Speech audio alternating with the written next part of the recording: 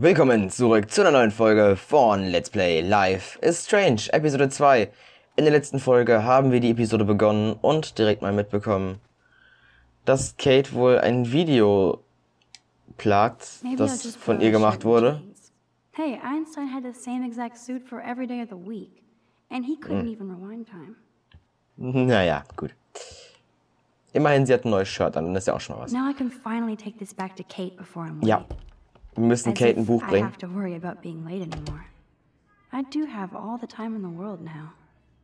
Stimmt. Unbekannte Nummer. Halt deine große Klappe oder ich mach dich platt, ich weiß, wo du schläfst. Ja, ist ja gut, Nathan, aber meine Klappe halten werde ich nicht. Oh, Der soll mal was versuchen. Now I'm getting anonymous threats? It never ends. Das war This Nathan. has to be from Nathan. But it could be anybody. I better be doubly careful around here, or I could be in serious danger. Mhm. Wir müssen auf jeden Fall aufpassen. Ich will nicht zu Victoria. Victoria interessiert mich nicht. Kate, Kate? You in there? über diesen anonyme Nachricht mache ich mir jetzt noch keine Gedanken, also. Weil große Reden schwingen kann jeder. Noch. Oh. Also eine Violine. Ich hab dein Buch, Kate. Kann ich mich ein bisschen umsehen? Willst du so ein bisschen? Okay, sie hat eine Bibel. Kann ich die hochmachen? Kate isn't that gloomy.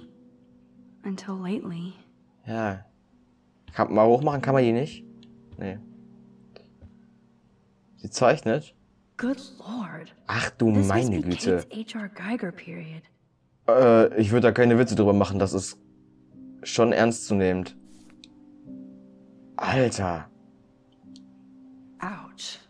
She left out Ham Nation. Liebe Katie, sämtliche Dämonen der Hölle hätten mich nicht auf den Inhalt deines Videos vorbereiten können. Weil die Hure Jezebel zeigst du dich vor den Augen Gottes. Ich werde mit meiner Gemeinde für die Rettung deiner Seele vor dem ewigen Höllenfeuer beten, Tante Marsh. Okay. Gut, sie ist scheinbar in einer Kirche oder in einer, in einer Gemeinde. Äh, Ich bin da nicht so gut und nicht so begabt drin, was das angeht. Jedenfalls, ja, sie, sie hat irgendwas mit Gott am Hut. Also, gut, jetzt das, was dabei jetzt rumgekommen ist mit dem Video, das ist natürlich auch nicht gut dafür.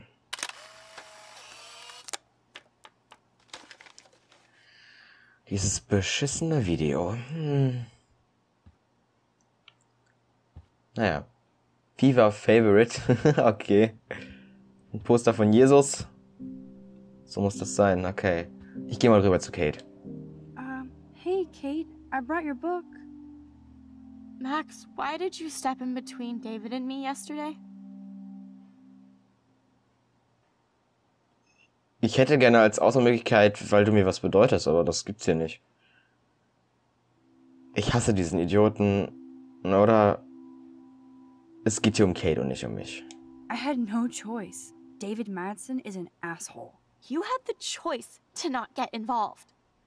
Nobody here seems to care about anybody. Kate, I actually do care.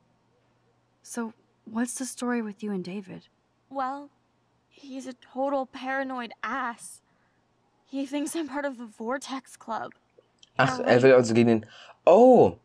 Moment, Moment, Moment, Moment. Das mit dem Vortex Club, okay. Dann will David gegen den Vortex Club vorgehen. Das ist dann schon wieder was, was für David spricht. Wenn er gegen diesen Vortex Club vorgehen will. Hm, sollte ich sie jetzt auf das Video ansprechen? Ich mach's mal durch die Blume und frage, ob sie mit denen gefeiert hat. Wobei, nein, das würde sie nie tun. Stopp. Äh, äh, äh, ich kann hier eigentlich nur falsch antworten. Das ist mit dem Video, komm schon. Äh, es ist nicht gut, es ist nicht gut, aber ich What frag about this trotzdem. video? And I swear I haven't watched it. I can't even watch it, Max. Es, ich werde es nicht tun. I won't either. Thank you, Max. You know how humiliating this is for me? I know this sucks, Kate, but tell me about the video and maybe I can help. Ja. Basically, I went to one Vortex Club party. and ended up making out with a bunch of people. Mhm. And I have no memory of it. Okay. Ist. Kann das sein, dass das mit dem Fall von Chloe zusammenhängt? Chloe wurde ja unter Drogen gesetzt. Von Nathan. Oder zumindest wurde sie unter Drogen gesetzt. Kann das sein, dass das mit Kate auch passiert ist? Erstmal Mitgefühl zeigen. That's awful. So, how did that happen? It's a long story. I'm still trying to sort it all out. Irgendjemand hat have dich to tell me gedost, more auf jeden that. Fall. What happened at the party? Did you drink? I swear to God, I had one sip of red wine, and then I drank water. Dann hat dir, dann hat dir wirklich wer was ins Glas getan. Äh, sicher? Are you sure it was just one sip? I take a sip at church, and I don't end up on a viral video, okay? Ist Did okay, ist okay, ist okay, sorry. I remember. I remember getting sick and dizzy. Go on. Then Nathan Prescott said he would take me to the hospital. Arschloch, Alter. Ein Scheißdreck hat der, ge Entschuldigung. Ja, hat der ganz bestimmt nicht gemacht. Hm, Nathan Prescott? Oh shit. He was being nice for a change when he offered to help me. He's the opposite alles of nur nice. Masche, alles nur What next? All I recall is driving for a long time. Then I woke up in a room. I I thought it was a hospital because it was so white and bright. Go on. I'm listening. Somebody was talking to me in a soft voice. I thought it was a doctor. Okay, also wird er wohl erwachsen gewesen sein, der mit ihr geredet a hat. sharp sting in my neck. And. And.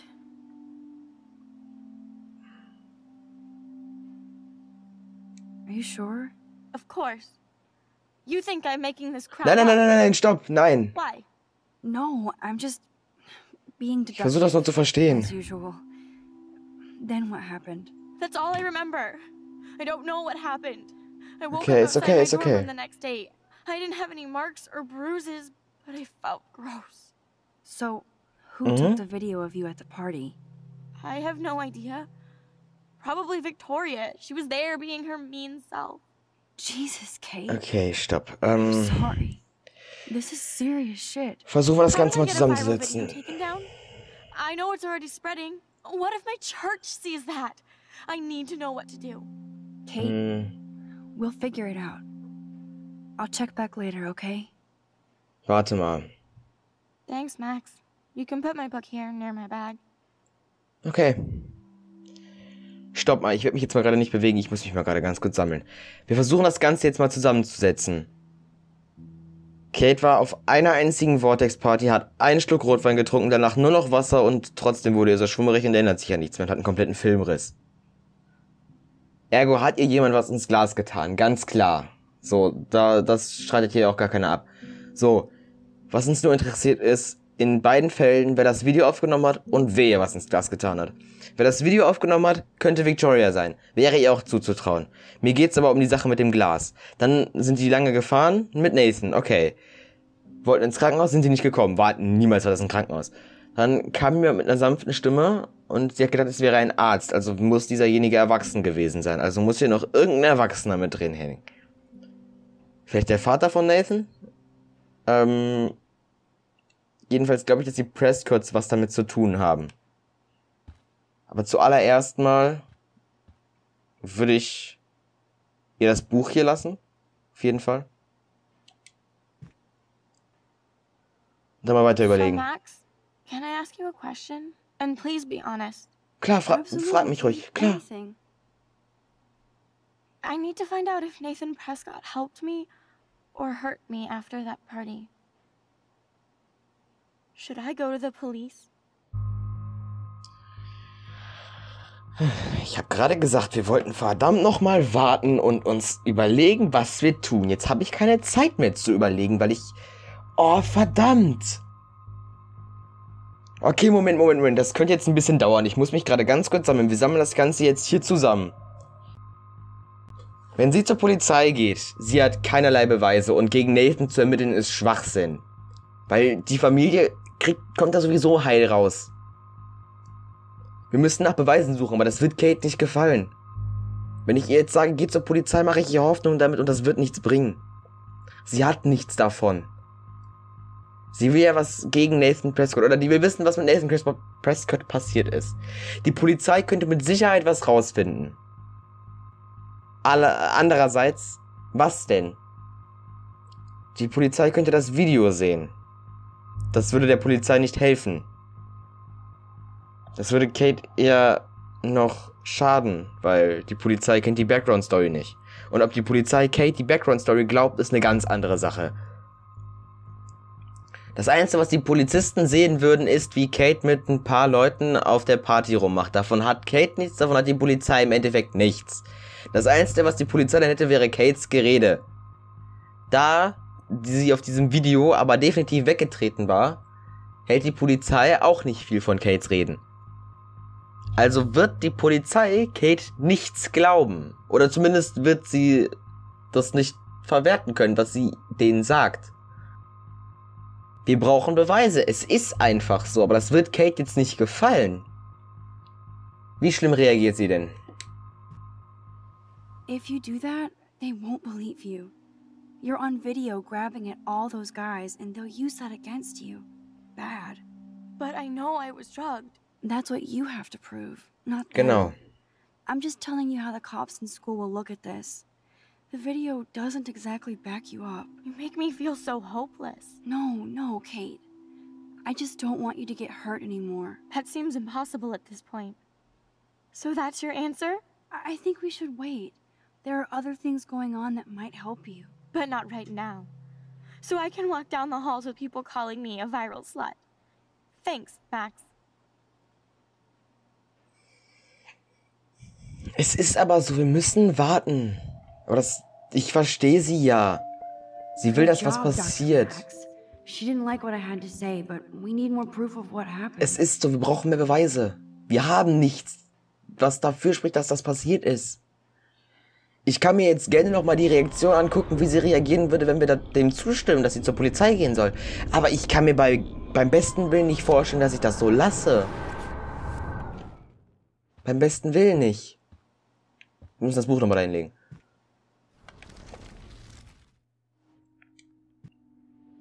Yes, you should definitely go to the police, Kate. I totally believe every Das word tue you ich ja say. auch, aber das tue ich in der anderen Nathan Entscheidung auch. is truly dangerous. Bless you, Max. I will go to the police. And also Principal Wells. With Nein. you as my backup witness, they'll have to take us seriously now. Backup witness? Scheiße. Well, I I mean, I believe you in everything, but we're still just spoiled punk students to the cops and faculty. I just think we need to be very careful here. Why? Careful of what? Nothing. Except the Prescotts are a powerful family. I hope this won't backfire on us, that's all. Even though that rich bastard has earned some serious bad karma. He'll get it.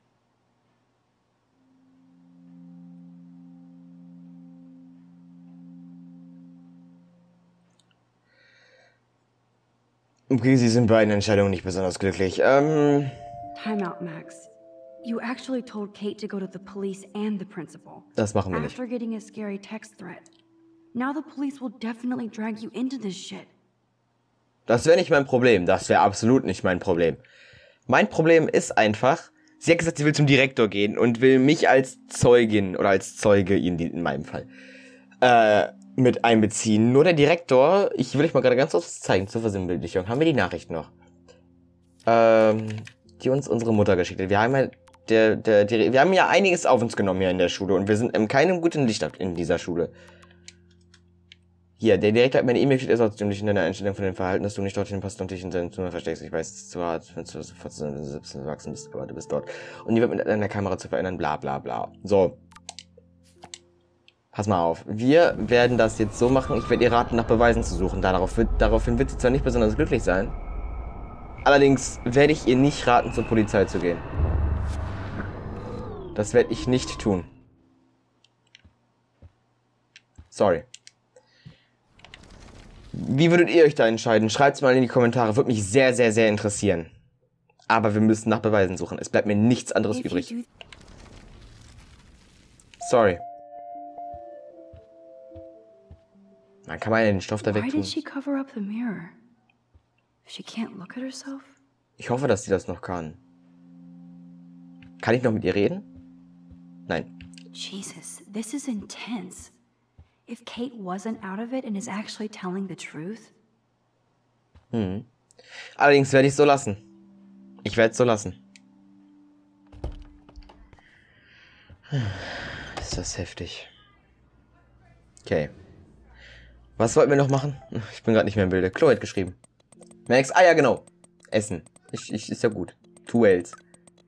Sehe dich da. Ja, genau. Richtig beim Texten kein Finger. Hurra, Frühstück. Keine Emojis.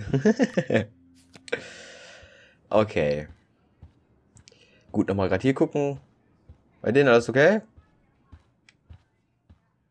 Let's talk later, Max. Okay, Juliet. Excuse me, I'm texting Zach. Okay, mach das. Gut, ich bin dann mal raus. Wir wollen noch mit Chloe frühstücken. Dann wird die Folge aber etwas länger. Oder? Ja, doch, wir gehen. Warte, was stand da noch? Ah, das ist nur Mülleimer.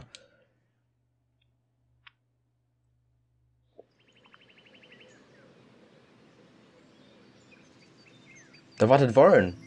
Hab ihn gerade gesehen.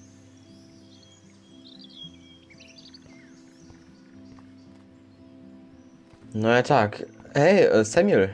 Du, bist doch, du heißt doch Samuel, oder? Ich hoffe, du heißt Samuel. Ja, du heißt hey Samuel. Samuel, you're up early. Oh, hello, young Max. I do love the early morning. Everything is so calm and quiet. And I can feel the animals waking up with me. So, what did you think about that freak snow shower yesterday? Another message from the Earth to get our shit together. I will say that Samuel hasn't seen Hmm. anything like that before. Gut, That's wenn er thing das I sagt. truly love about Arcadia Bay. It's all those cool animals in the forest. The squirrels always come in the morning for food. I can hear them whisper. Ja, Samuel ist ein ziemlich komischer Vogel. Ich habe ein Reh gesehen. Don't laugh, but I saw a doe that seemed to be looking right at me. Like it was trying to communicate. Oh, Ja, das habe ich mir auch schon gedacht. That's your spirit animal. Nothing weird there, except you saw yours. Could be Okay, da sign könnte of was dran sein. What do I know? My spirit animal is a squirrel. I so don't want to get in the way of your morning ritual. See you later. Of course you will. Mhm. Gut. Da ist die Bratze von Victoria. Na, Taylor. Und wie ist es? Hi, Taylor. Hi, Taylor. Just because you were nice to Victoria doesn't mean I have to be nice to you. Ich will dir, ich will eigentlich helfen. Ich will mich nicht mit der gut stellen, vergesst es. Well, sorry to exist, Taylor. On that we agree. Do you mind? Leaving? Hat keinen Zweck. Hat keinen Zweck. Die ist dumm wie ein Stück Brot und immer auf Krawall aus. Sollten wir alles lassen. Alles cool. Gut, Leute. Ich würde sagen, das war's mit dieser Folge von Life is Strange. Wenn euch gefallen hat, lasst einen Daumen nach oben da. In der nächsten Folge, wa- was macht Warren eigentlich hier? Wir wollten doch eigentlich zu Chloe zum Frühstücken. Ist ja auch egal. Klären wir in der nächsten Folge. Bis dann und ciao.